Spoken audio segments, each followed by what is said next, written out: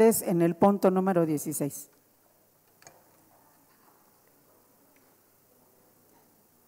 Con la venia, señor presidente, antes de pasar a mi punto de acuerdo, a la propuesta, yo sí quisiera, un poco por lo que comentó la diputada, el punto de acuerdo que se acaba de aprobar, que se, me parece de, de importancia, de gran trascendencia, y, enfrascados nosotros en el, marco de las comparecencias la semana pasada, eh, sucedió un hecho muy lamentable en el Estado de México, que viene a relucir por lo del punto de acuerdo de la diputada María Luisa y que tuvieron a bien sumarse las distintas fracciones. Y sí me gustaría pedir un minuto de silencio por la alumna Lucero de la Universidad Autónoma del Estado de México, quien bajo esa modalidad que la pescaron con los videojuegos, este, vía eh, con los gamers, etcétera, eh, fue el pretexto para que el lunes 3 de octubre, Lucero, de, 22 años, fuera privada de la vida al interior de su domicilio en el barrio de Santiago, según los informes policíacos. Pero aparte, esto fue una cosa que estremeció al Estado de México, pero también a nivel nacional. Y, se pronunció la Universidad Autónoma del Estado de México y esta Cámara me parece que, eh, presidente, yo le pediría un minuto de silencio en honor a esta alumna, a Lucero, si usted no lo permite, a razón justamente de proteger a, aquellas personas que están enfrascadas en la vía digital. Claro, con todo gusto.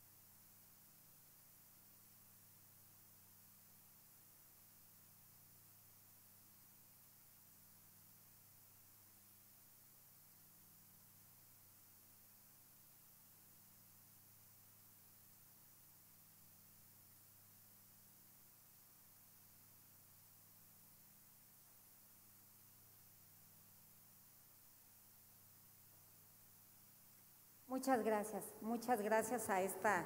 legislatura, sobre todo ante un hecho que tuvo gran trascendencia en el Estado y a nivel nacional. Con la venia, diputado Enrique Jacob, Enrique Jacob Rocha, presidente de esta legislatura, y con la venia de toda la mesa directiva de esta sexagésima primera legislatura, eh, hoy, en vísperas de celebrar el Día Mundial de la Salud Visual, la bancada de Movimiento Ciudadano trae ante este pleno un punto de acuerdo enfocado a atender una problemática que siempre ha acompañado a la humanidad, pero que en los últimos años se ha incrementado por el uso de dispositivos electrónicos, la mala alimentación y la contaminación nos referimos al deterioro de la salud visual de las personas. Es preocupante que en las proyecciones del avance de estos padecimientos aumente en los próximos años debido al crecimiento y al envejecimiento de la población y a los cambios del estilo de vida. En el caso de nuestro país hay 2.237.000 personas con una deficiencia visual los seis principales problemas oculares que nos afectan a los mexicanos, digo, yo me incluyo, los que usamos lentes nos incluimos, son errores de refracción como la miopía, hipermetropía, astigmatismo, hiperisbicia, catarata senil, degeneración macular, glaucoma, retinopatía diabética y opacidad en la córnea. En el caso de nuestra entidad,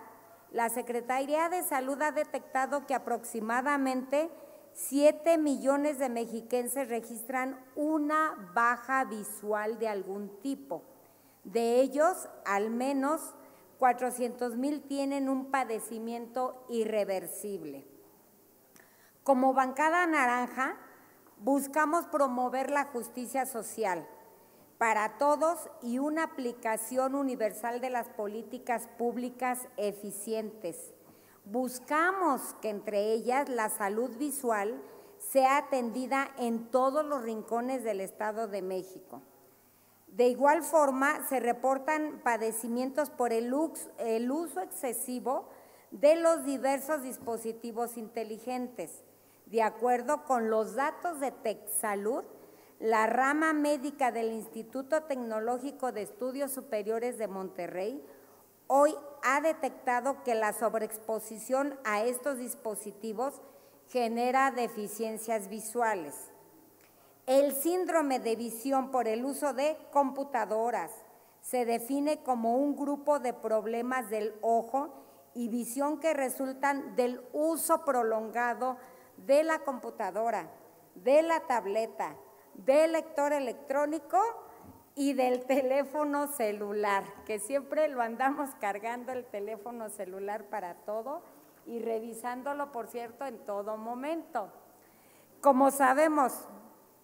los dispositivos electrónicos son una fuente de luz dentro de la cual se encuentra la luz azul, misma que tiene efectos en el organismo y en el estado de ánimo. Por eso siempre recomiendan que antes incluso de dormir se retiren todos los dispositivos media hora antes para que el cerebro, la persona pueda descansar justamente lo mejor posible. Los datos de la doctora Lilia Rodríguez Ventura, quien es académica de la Facultad de Medicina de la UNAM, muestran que tres cuartas partes de la población mexicana adulta padece sobrepeso u obesidad, mientras que 35% de niños en edad escolar y 38% de los adolescentes presenta esta eh, situación. Son datos realmente terribles, pero vienen a relucir porque ello implica tener también un cambio en la salud visual y aumenta el índice de las enfermedades visuales. En el caso de nuestro estado se ha trabajado en la materia, ya que se cuenta con el Hospital Mexiquense de la Salud Visual, un centro especializado de atención a personas con discapacidad visual. Sin embargo, reconocemos que también ello todavía es insuficiente por la alta población que empezamos a tener este tipo de problemas. Esto tiene como finalidad cubrir las necesidades visuales de pacientes del Estado para la reintegración familiar, social y laboral de las personas con discapacidad visual, atendiendo diversos padecimientos. Como mencionamos, el, el centro especializado no es suficiente para un Estado que cuenta una población de más de 17 millones de habitantes, por lo que es necesario que todas las autoridades actúen para atender a las y los mexiquenses. En un mundo construido en función de la capacidad de ver, la visión es esencial en cada momento de nuestra vida. Por ello es importante que la Secretaría de Salud realice las visitas, estudios y consultas en los diferentes centros poblacionales de nuestra entidad para disminuir la forma más efectiva los padecimientos visuales que pueden ser prevenibles y se atiendan a todos ellos que ya tienen una enfermedad visual. Por lo que exponemos en la bancada naranja, presentamos ante ustedes este punto de acuerdo de urgente y obvia resolución, un exhorto para que la Secretaría de Salud del Estado de México, en coordinación con los 125 ayuntamientos del Estado de México, puedan generar campañas de prevención, atención y seguimiento a los problemas de salud visual de las y los habitantes del Estado de México. Este problema se está agrandando cada vez más y sobre todo porque la población de adultos mayores empieza a tener muchos problemas de salud visual, pero la pirámide poblacional se va a ir haciendo al revés. Es decir, va a haber menos jóvenes, va a haber menos niños y vamos a ver más adultos mayores. Entonces, si nosotros no tomamos conciencia de todo lo que ello eso implica, el aislamiento ante una persona que tiene incluso una discapacidad visual, su aspecto, su cara siempre va a ser más fría eh, en, la forma, en el trato, no porque quiera, sino porque no logra ver. Entonces, por eso la propuesta, eh, eh, compañeros y compañeras diputadas, es cuanto.